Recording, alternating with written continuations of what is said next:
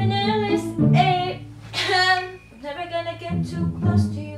Even when pick him. What are you doing here? I'm sorry, it was an emergency. I really need to make a tint and a blush for myself because I have a day today and I need to bring makeup. Okay, so?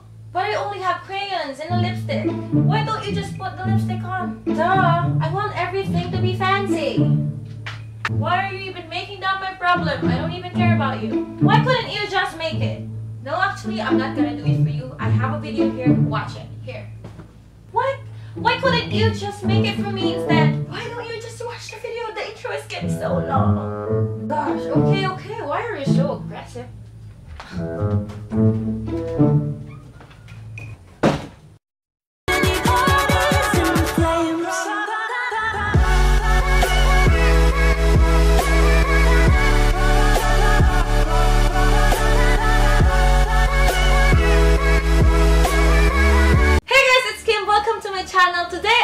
Showing you DIY cheek and lip tint using crayons.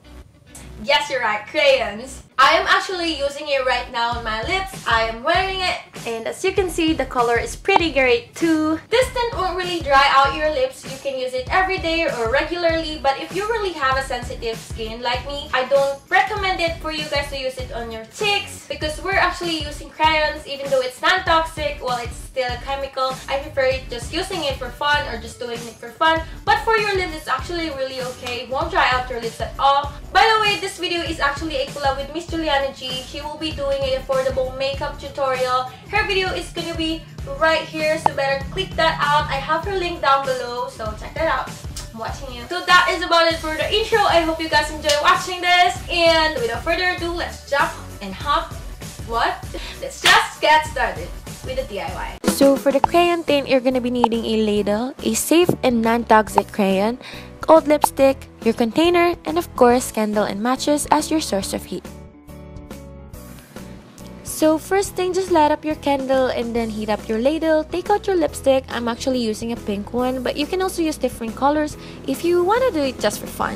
So here I'm just using a stick to put that in. After that, take out your safe and non-toxic crayon. You can also use different colors according to your liking, but I'm going with red. Slicing that out and putting it together with the lipstick and just go ahead and melt them down together. I forgot to mention that you also need a petroleum jelly or Vaseline because it has a property to moisturize, repair, and protect your skin, especially your lips, so it's a must. So I'm just putting some in there, no specific measurements, just doing it. So now once you're done, you can now put it in your container surrounded by some lovely ants.